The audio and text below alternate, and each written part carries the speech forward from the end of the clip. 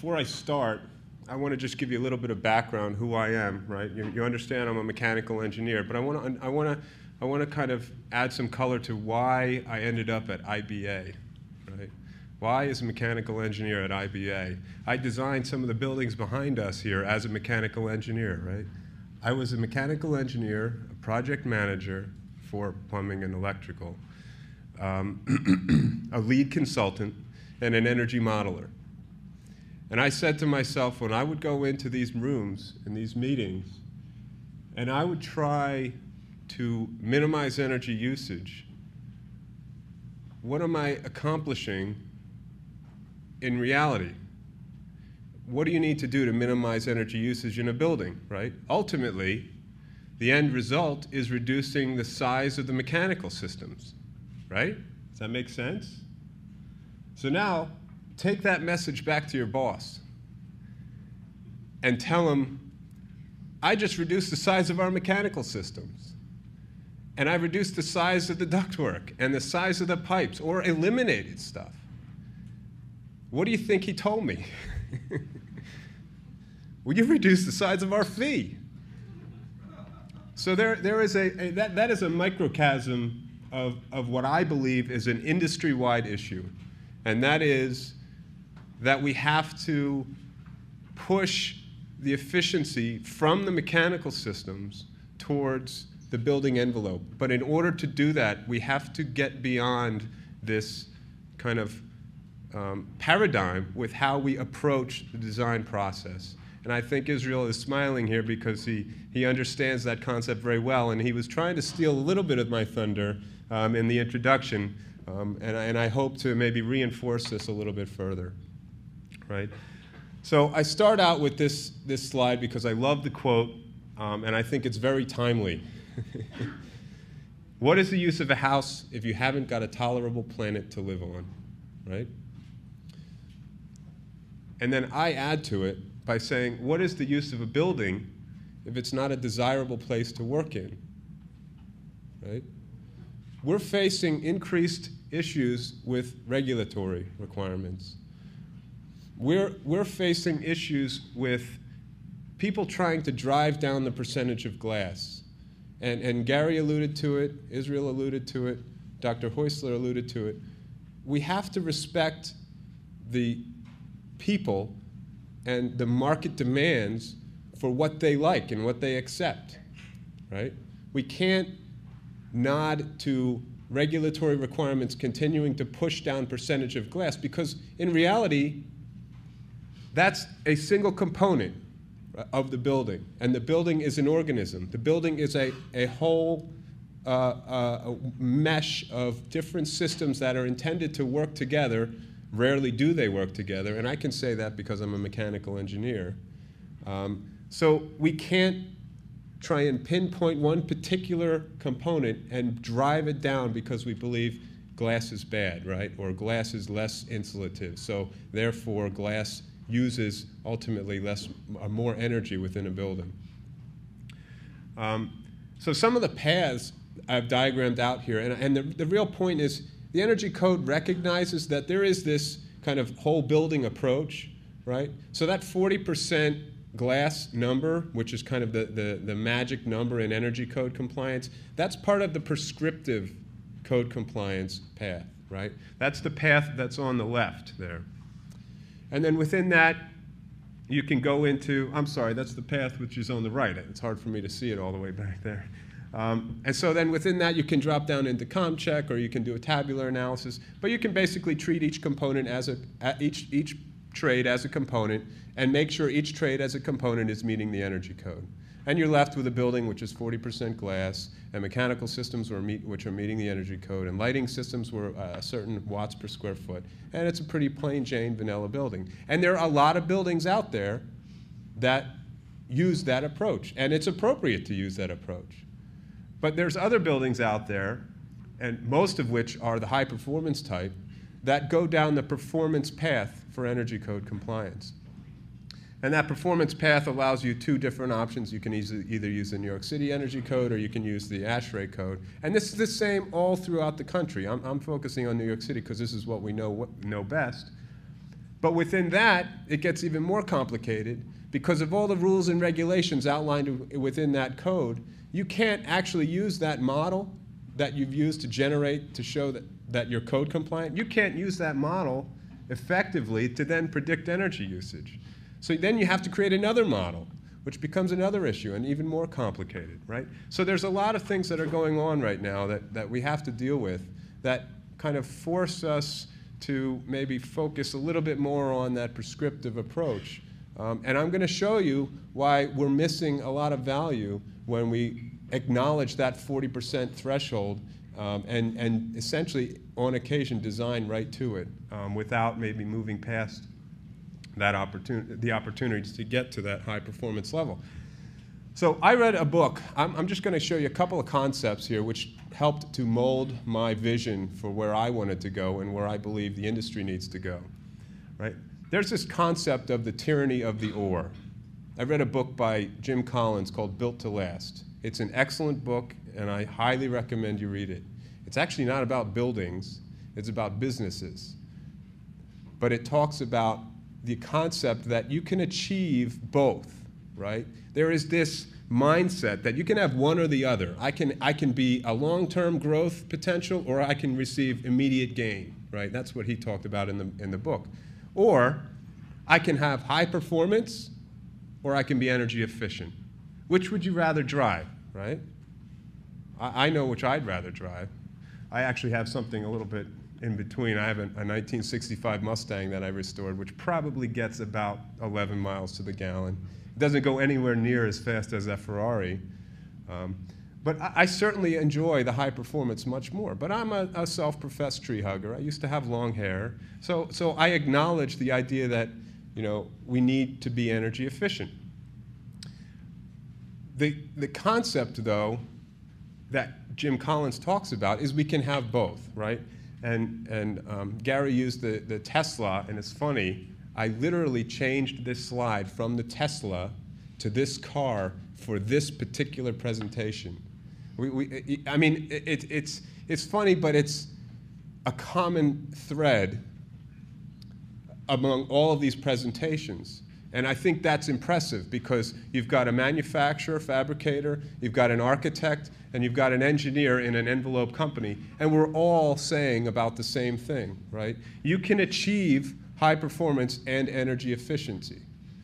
The difference in buildings is that we don't need the carbon fiber technology or the lithium ion batteries or the complex controls, although we have to get there but we have the ability to do this now.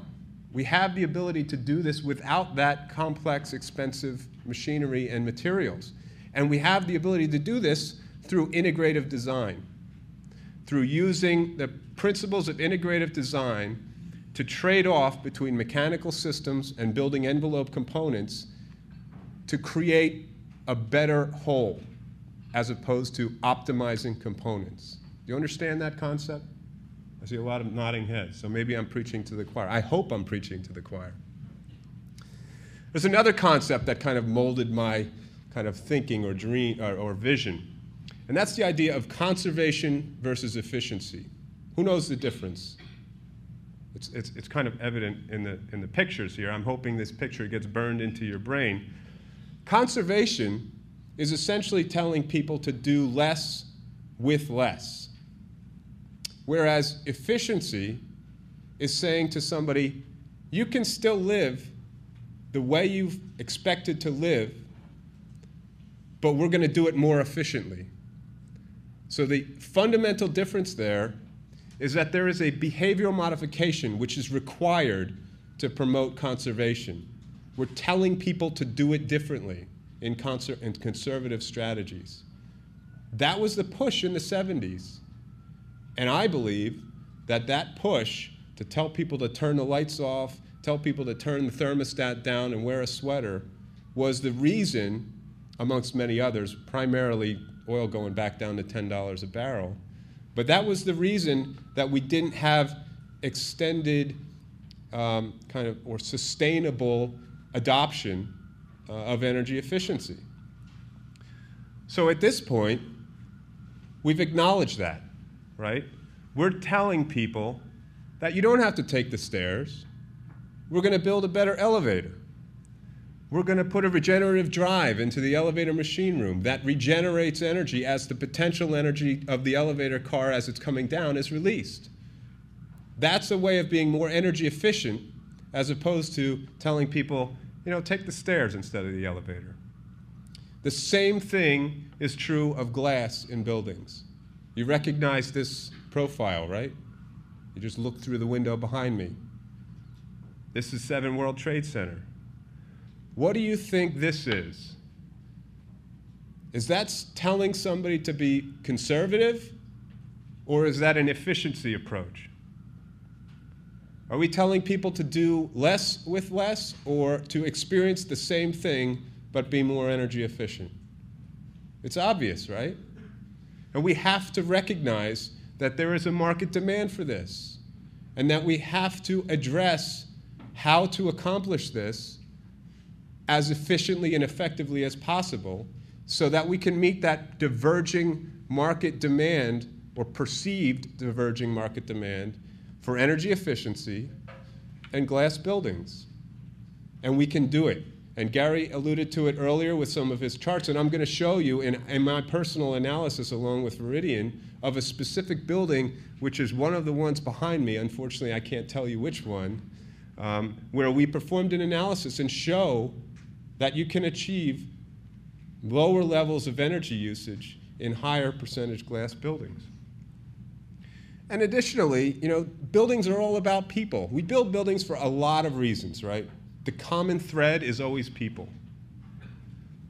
We have to acknowledge that. It's just that like the conservation versus efficiency strategy. Would you rather be in an opaque office building or would you rather be in that beautiful glass building to the right? This is actually a slide that I stole from our fellows at Cushman Wakefield, one of our co-presenters up at, at the USGBC presentation. So I have to give them credit for this. But this is what they acknowledge, and this is what their tenants are coming to them and saying. And this is why there is such a need for or a demand for glass in buildings. And this is why we have to understand how to design them efficiently so that we can redirect those diverging demands for energy efficiency in glass buildings. So I love this quote because I, can, I think it kind of sums up this epitome that I had and what I believe is this um, kind of paradigm shift that needs to occur in the indus industry. We cannot continue to use the same thinking in order to solve the problems that got us into this mess in the first place, right? We have to think about things differently. So how do we do that, right? And we've all heard from these uh, excellent presenters already about the integrative design process, so I'm not going to harp on that. Um, but there's a very interesting quote from Amory Lovins, another uh, friend of mine that I've uh, interacted with out at Rocky Mountain Institute. Optimizing components in isolation tends to pessimize the whole system. So what do I mean by that? Put all of the money into a super efficient chiller, and for you know exaggeration sake, throw that chiller into you know, a, a, barn that has um, wind, uh, walls made of Swiss cheese, right? You've optimized the component, but you haven't looked at the building as a whole and optimized that system. You've, you've pessimized that system. That chiller's going to run at full bore all day long to try and keep that leaky barn cool, right? So you have to look at how your decisions economically affect the whole system and go beyond that and understand how taking something from one trade and applying it to another can end up in a benefit to the whole, as opposed to a zero sum game, which is one of the things I kind of uh, uh, mentioned there at the bottom. So, force team members to weigh in on things that they're not used to weighing in, right? Make the mechanical engineer tell you exactly why he's designed the system the way he's designed it, right? Wring out of him those 30 year old safety factors.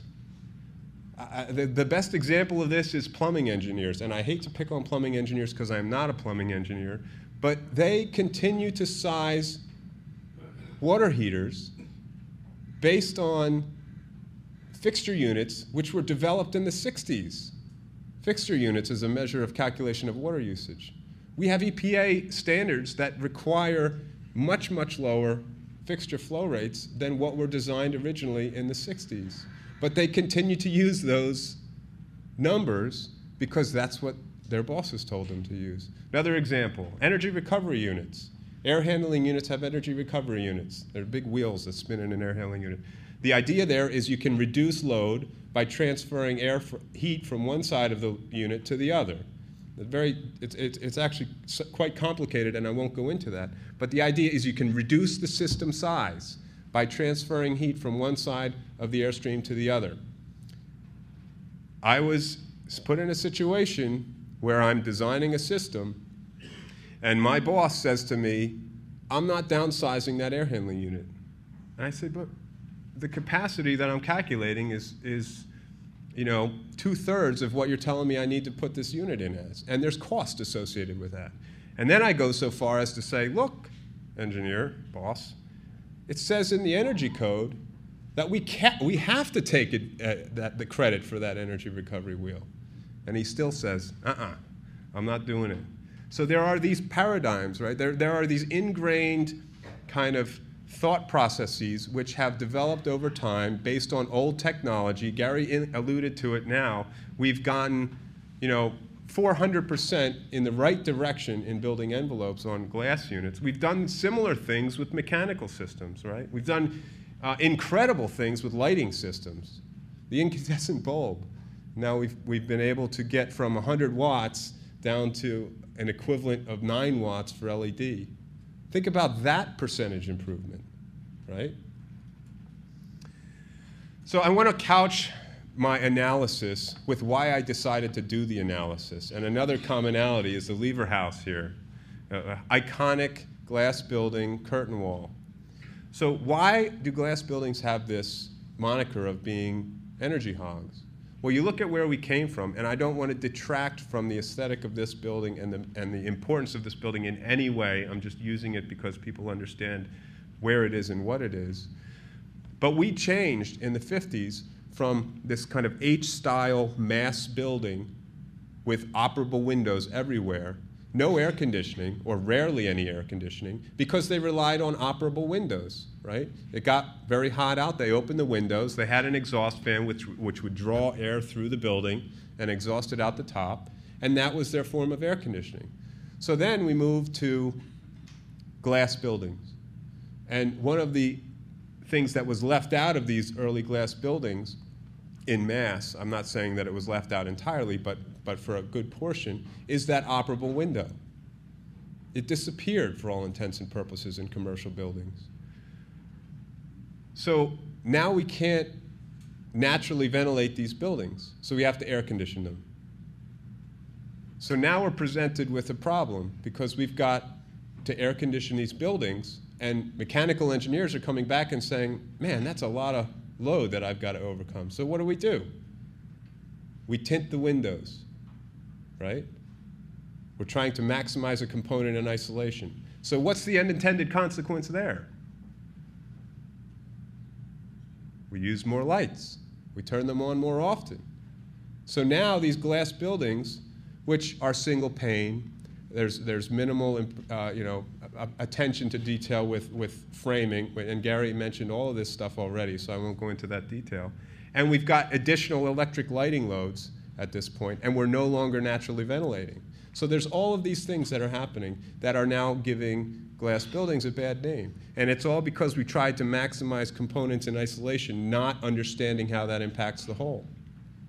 So then we move to technologies today. And again, I'm not going to uh, uh, I'm not going to kind of harp on this because you've seen a lot of this already. But I love this example. Unfortunately, it's not one we worked on. I would love to have given one that we worked on, but this one is particularly interesting to me because it's very simple. All they did to reduce solar gain was tilt the glass 15%. What does that do for you?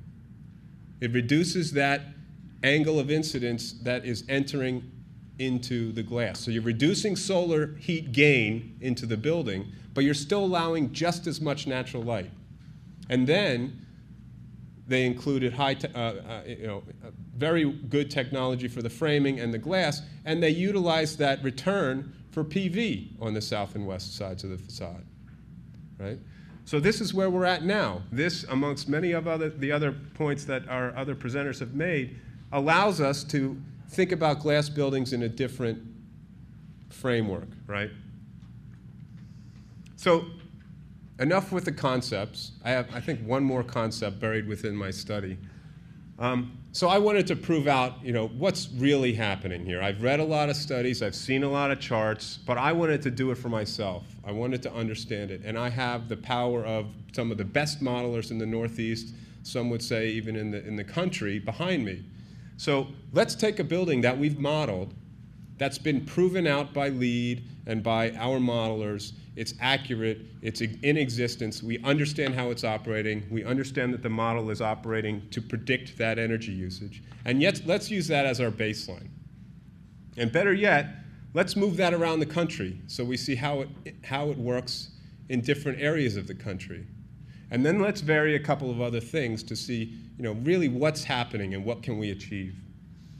The other thing to mention here is we didn't change the programming we didn't change the, light, the daylighting capabilities other than adding electric daylight dimming systems, which I'll get into, but we didn't add daylight shelves. So we weren't counting on 20 feet into the building or 30 feet into the building, which is what you can eventually get to, just as Gary had mentioned. We're looking at it from a kind of a standardized approach because we realize that this is something that has to be mass adopted, right? We're, I don't want to appeal to the minority here. I want to appeal to the, to the majority. So we took code compliant base building mechanical systems, and we took high performance glass, a light to solar gain ratio of about 1.85, similar to like a, a Solarban 70XL, which is what you see as kind of the norm. And we used that to formulate our base building. So why did we do this? And, and, and Gary hit on this again a little bit earlier. There is this misconception that the building envelope is a large contributor to overall energy usage. And that may be true or, or, or more true or more of a, of a contributor in residential buildings, but in commercial office buildings, it's not necessarily the case. And it's apparent just by going onto EIA's website and downloading the latest CBECS data, and you can see energy usage, okay, space heating and space cooling are a pretty big chunk.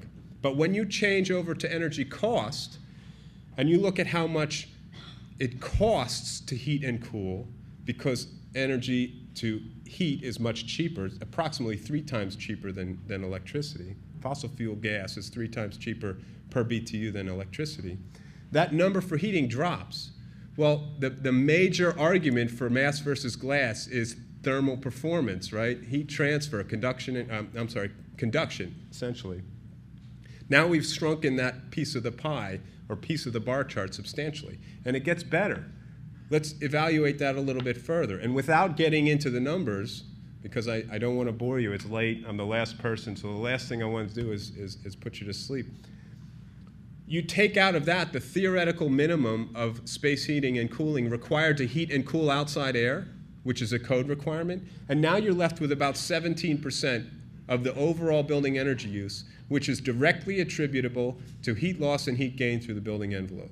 17% of heating and cooling is directly attributable to heat loss and heat gain through the building envelope. Commercial building is this, this is the commercial building case. Residential is much different, so I have to caution you on that. You, again, you can't take one approach and put it in a different location. It's, you, you have to understand this on a unique building by building basis. So this is the other kind of concept that I wanted to explain. And this is a, a little bit harder to understand, I think, but I, I picked a, an analogy because I think it makes a good point. Right? You walk out of Starbucks and you have a hot cup of coffee, and it's the middle of winter. Which would you prefer? Obvious, right? You want the thermos. You want to keep that coffee hot. Now, let's say that that coffee has an internal heat generation source and that coffee isn't coffee, but it's a building. It's the internal loads within the building. And those internal loads within the building are constantly operating and constantly rejecting heat. So you didn't just pour the coffee and walk away. You poured the coffee, and there's a little heater in there that's continuing to run. And then the coffee's too hot, and it's the middle of summer. Which would you prefer to have the coffee in? The thermos or the cup? I want my coffee to cool off so I can drink it. So I may even add ice to the coffee cup. What is that ice? It's air conditioning, right? That's the concept here. Insulation is very critical in a building envelope at peak heating conditions and even for us, uh, the heating season generally. But you have to understand that buildings exist throughout the whole season, right? And the rest of the temperate months and the summer months may not actually benefit you much by adding insulation. And in fact, they don't in some cases. And the only way I can prove this to you is to sit you down in front of my computer and show you the energy modeling and show you the results. Or you can go out and do some research and kind of figure it out on your own. So again, I think I had on here, but I already harped on it. Residential is a different story, right? So you got to take that with a grain of salt. Another concept which we've hit on a lot, but which is interesting to kind of put numbers to, is that daylighting is actually more energy efficient than the best LED lights out there. I don't have LED on here. I don't think, oh yeah, I did, I added it. Fluorescent and LED are about at that lumens per watt, right? Sky, ambient sky conditions, provide more lumens or light per watt of energy than LEDs. So daylighting, in effect, can offset much more of that energy usage associated with lighting than an LED could. And we're climbing this kind of green slope, right, which we've hit on a lot, and I need to kind of brush through this to get, get on to the uh, analysis. So here's the case study. We used regional utility rates, we used the same geometry, we use the same schedules, operating schedules, control schedules, same HVAC systems, same lighting watts per square foot, and the same air change per hour infiltration rates. And then we varied three things. We looked at three, the three different climates, and we looked at four different percentage glass. And then we also looked at adding continuous daylight dimming and not having continuous daylight dimming, right? You understand what continuous daylight dimming is? You actually electronically dim the lights in response to a light sensor, which is measuring ambient lighting levels. So here's the three climates. I mentioned them already Toronto, New York, Houston. Here's the four percentages of glass. There's one important distinction here. When we went to 75%, we took out the most ineffective portion of the wall for daylighting, right? So I'm, I'm kind of cheating there a little bit um, because I, I knew that that's an ineffective portion of the wall for daylighting. Um, and then you get the analysis. This is using New York City rates. And I, the only reason I show you New York City rates in Houston or, or Toronto is because of the impact of demand cost. The demand charge in New York City is so astronomical that you get a very steep slope. Do you understand how this chart works here? On the left is 100% glass, so obviously that's going to use the most energy. Middle is 75%. Over to the right is 25% uh, is uh, 50%, and then 25%, and you got the three different regions. So then you take out the demand charge associated with New York City rates, and you use those regional rates. And Gary alluded to this. Look at the flattening of the curve. Look at what's, what's happening there. There is really little impact associated with percent glass on commercial office space energy usage. Now, this is the beautiful part. Add daylight dimming and you start to see an inflection point. There's actually an optimal point at which percentage glass provides more daylight, daylight availability than heat, heat loss out of the building envelope because of all the concepts that I've talked about. So let's blow that up a little bit, and you can see 40% is not the optimal point when you include daylight dimming systems in your building, right? Think about that. We can get better buildings at higher percentage glass using the technology available today with more, with more glass, right? And I, and I, and I, and I kind of will continue, we'll come back to that. So now I turn this argument on its head and I say, what happens? You know, I, I want to prove out both situations. What happens if I take a 25% glass building and I double the insulation in the wall? what do you think happens? So here's the code compliant building, code compliant insulation, no daylight dimming. I double the percentage of insulation in the wall. There is a minimal increase in energy efficiency. In a commercial office building, 25% glass, doubling the insulation value of the wall.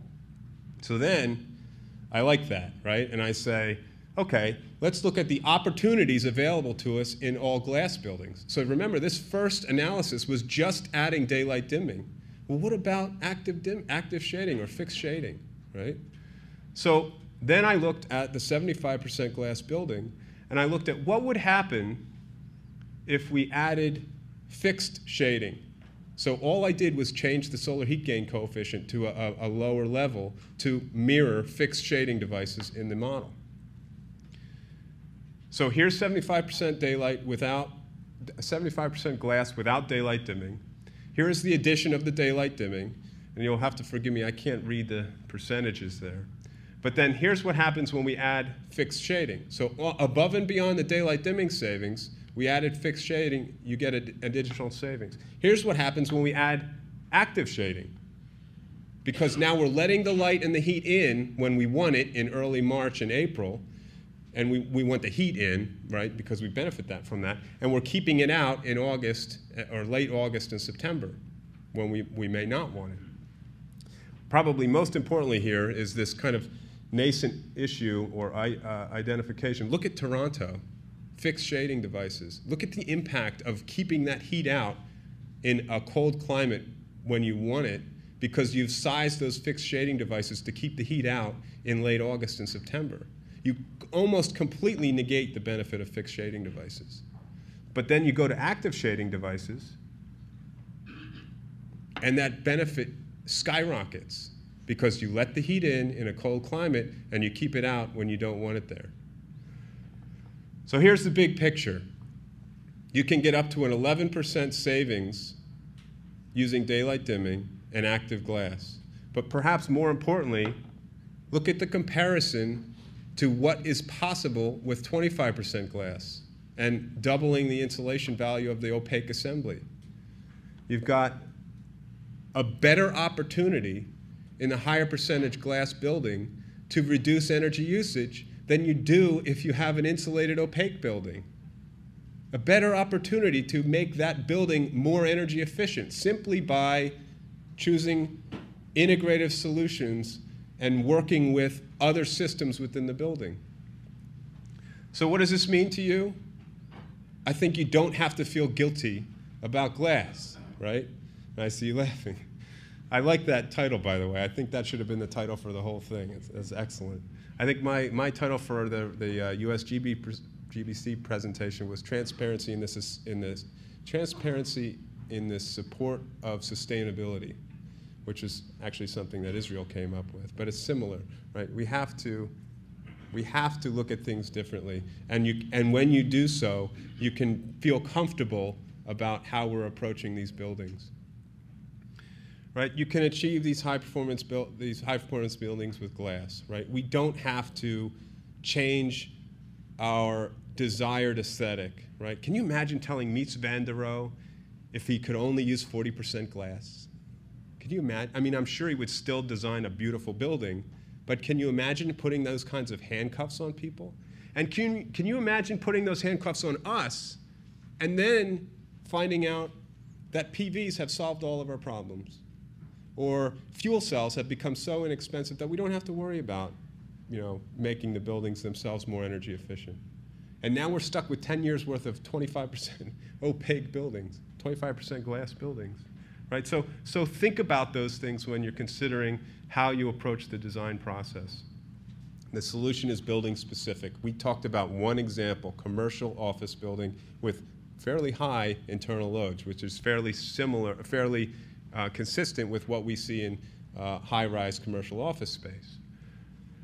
And focus on those whole building impacts, right? And I, have said this enough, so I'm not going to kind of continue. And approach the energy system, energy systematically and not relatively, right? Look at the whole system and promote integrity in analysis.